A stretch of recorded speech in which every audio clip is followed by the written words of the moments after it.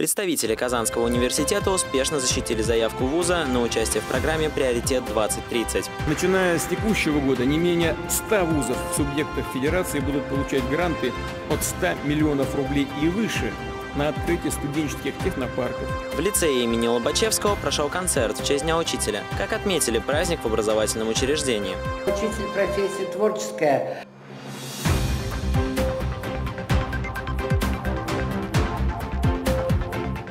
Всем привет! В эфире «Универ News», а в студии Вадим Выборнов. Делегация Казанского федерального университета принимает участие во Всемирной универсальной выставке «Экспо-2020» в городе Дубай. Данная выставка проходит всего один раз в три года, но уже на протяжении 170 лет. Представители КФУ презентовали доклады в сфере нефтехимии, а также рассказали об истории, достижениях и международных проектах университета. 13 мая 2021 года вышло постановление правительства Российской Федерации о программе «Приоритет-2030». После проведения отбора университетов 27 сентября объявили список университетов, ставших участниками программы. Всего в список вошли 106 вузов России, которые уже получили базовую часть гранта в размере 100 миллионов рублей. Казанский федеральный университет в их числе. 21 апреля 2021 года президент Российской Федерации Владимир Путин обратился с посланием Федеральному собранию. Начиная с текущего года не менее 100 вузов в субъектах Федерации будут получать гранты от 100 миллионов рублей и выше на открытие студенческих технопарков, бизнес-инкубаторов, обновление учебно-лабораторной базы и программ обучения. На такую поддержку смогут претендовать все государственные вузы. 19 сентября представители Казанского университета успешно защитили заявку вуза на участие в программе «Приоритет-2030» перед комиссией Министерства науки и высшего образования Российской Федерации. В ходе презентации ректор КФУ Ильшат Гафуров пояснил, что вуз ставит перед собой цель содействовать трансформации региона, повышению его глобальной конкурентоспособности посредством генерации системообразующих проектов новой экономики. По итогам очередного этапа защиты КФУ вошел в группу номер один по треку «Территориальные исследования исследовательское лидерство и получит специальную часть гранта в размере 994 миллионов рублей. Проректор по вопросам экономического и стратегического развития КФУ Марат Сфиулин рассказал о том, как университету удалось получить грант. С одной стороны, это не только новая программа, но и тот, э, та оценка и с одной стороны нашим учредителям, министерством, но и с другой стороны э, всем научным предпринимательским сообществом страны э, того, как мы работали последующие 10 лет, потому что вот в основе анализа потенциала и управленческого в том числе лежал глубокий структурный анализ э, успехов, проблем, вызовов вузов, чего они достигли за последние 10 лет. По словам проректора, нынешняя программа «Приоритет-2030» особенная. В ней значительно расширено количество участников. Если раньше участниками программы были 28 вузов, то в этот раз в ней приняли участие порядка 300 организаций высшего образования. Новации 2021 года – это отсутствие ограничений по ведомственной принадлежности к Минобрнауке Российской Федерации и форме собственности. Также было разделение на два трека – исследовательское лидерство и территориальное и отраслевое лидерство. Территориальное – это не означает, что мы отказываемся отказываемся от международных и глобальных амбиций. То есть основная задача, и вот с чем выступал наш ректор, в том, чтобы э, университет стал драйвером развития территориальной экономики. То есть чтобы мы объединили наши усилия для создания новой диверсифицированной, отвечающей вызовам э, индустрии 4.0 э, экономики Татарстана. Марат Софиулин подчеркнул также значимость гранта для вуза. Это дает большую свободу э, для того, чтобы заложить основу трансформаций.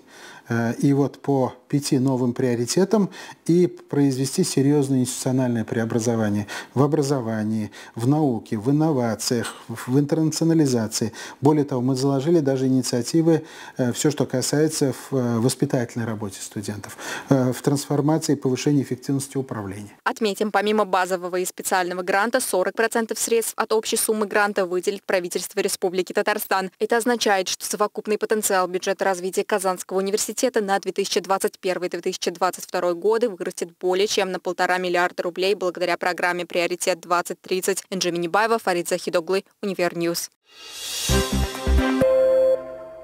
В честь международного праздника Дня учителя в культурно-развлекательном комплексе «Пирамида» состоялась церемония чествования лучших педагогов Татарстана. Наградами были удостоены преподаватели Казанского федерального университета и учитель лицея КФУ. 6 октября в императорском зале главного здания Казанского федерального университета продолжилась церемония вручения дипломов об окончании аспирантуры выпускникам 2021 года.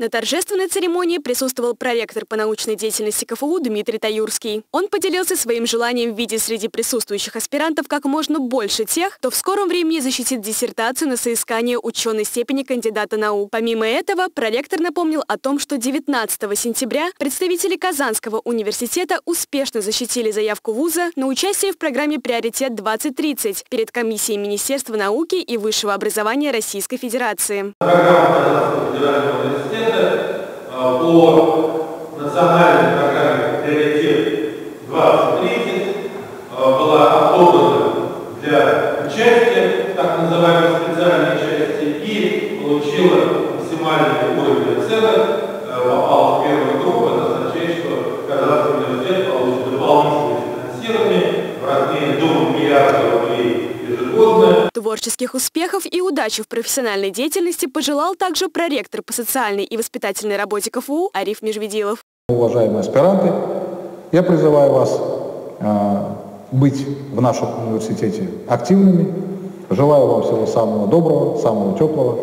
Желаю действительно с вами здесь тоже встретиться, Дмитрий Андреевич, разрешите и мне встретиться в таком составе. Ну и, конечно же, будем рады за ваши все победы, ребята. На церемонии было не так много аспирантов, но все они отметили, что очень рады тому, что церемония прошла именно в императорском зале КФУ. Я бы не сказала, что подготовка была тяжелой. Я давно хотела поступить в аспирантуру, в принципе, продолжить дальше работать в КФУ.